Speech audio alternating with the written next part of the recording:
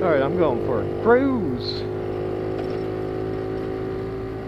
Testing out uh, saddlebag setup. So today, today I want to talk about why I stopped eating eggs.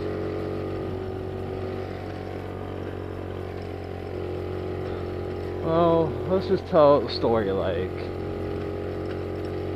So I was cooking dinner for six people total.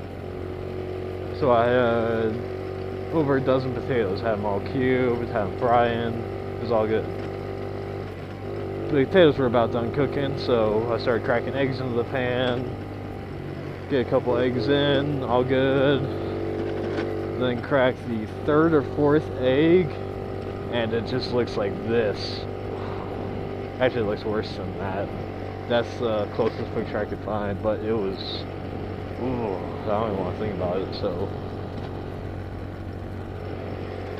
Yeah, that's why I don't eat eggs anymore.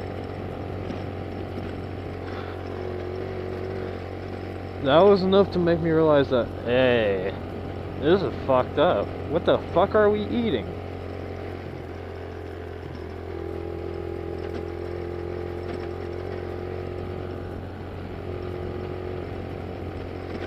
Oh.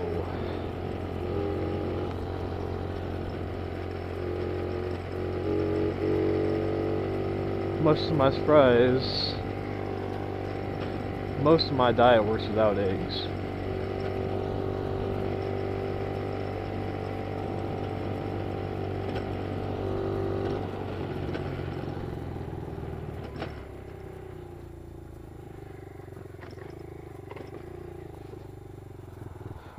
The only thing I really miss is French toast.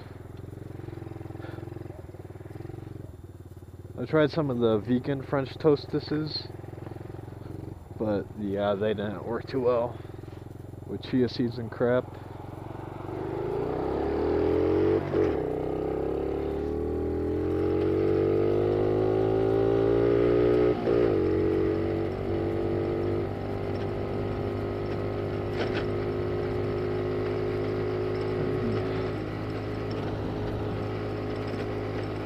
But oddly, quick breads, biscuits, well, biscuits don't normally have eggs on them, but pancakes, blah blah.